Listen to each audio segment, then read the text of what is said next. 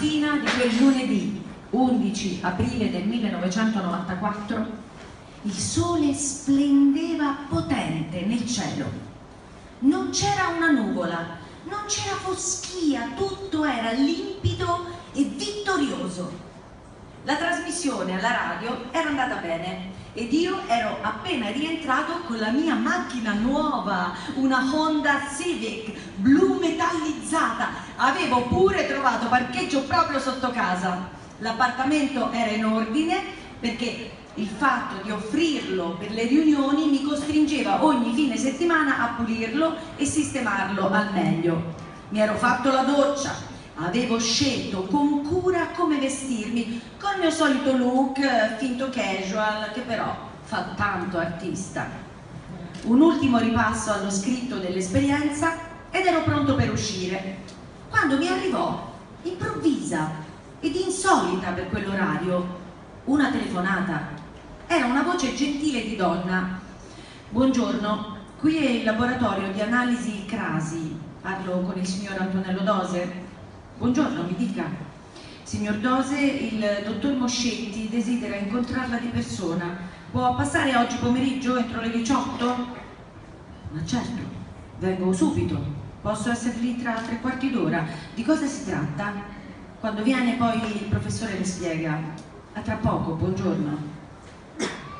Una settimana prima ero andato a fare delle analisi di routine come facevo da sempre, con regolarità, ogni sei mesi. Non mi era mai successo di essere chiamato da un laboratorio di analisi.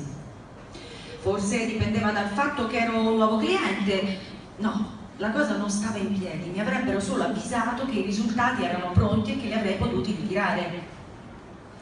Se un medico ti vuole parlare di persona, in genere non è un buon segno c'era qualcosa che non andava con la mia salute, qualcosa che non poteva essere detto al telefono.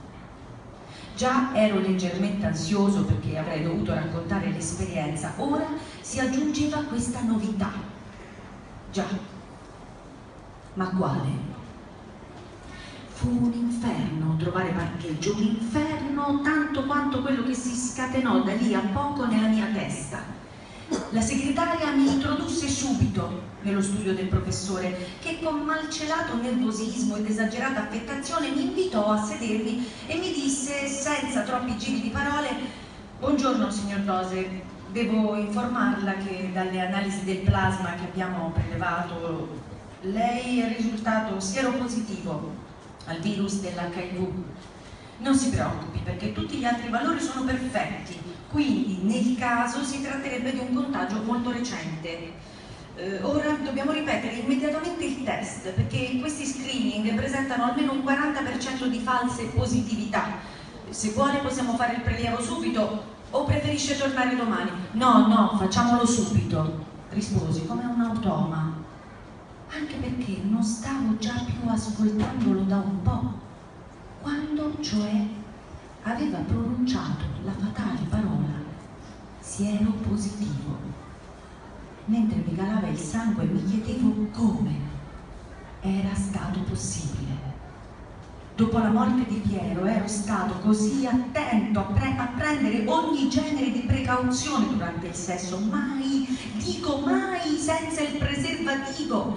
Avevo visto morire troppe persone per commettere una leggerezza simile le ho ripetuto sia il test ELISA che il Western Blot per essere più sicuri, aggiunse il professore riempiendo due provette. Si sente bene?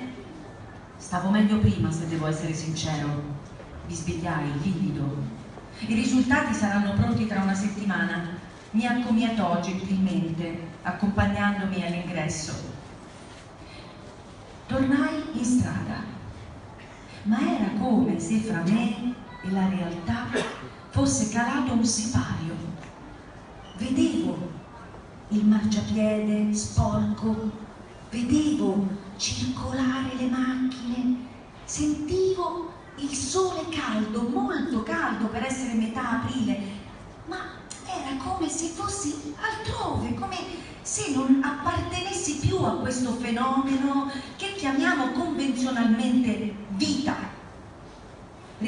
un piccolo gatto che approfittava di un incarto lasciato da una generosa gattara vicino alla ruota di una Fiat 500. Ci lanciammo uno sguardo. Salito in macchina, era come se non fossi più capace di guidarla, non sapevo cosa fare, ricordo il traffico, i negozi, una signora con la borsa della spesa. Mi sembrava di assistere a un film, lo osservavo, ma non ne facevo più parte.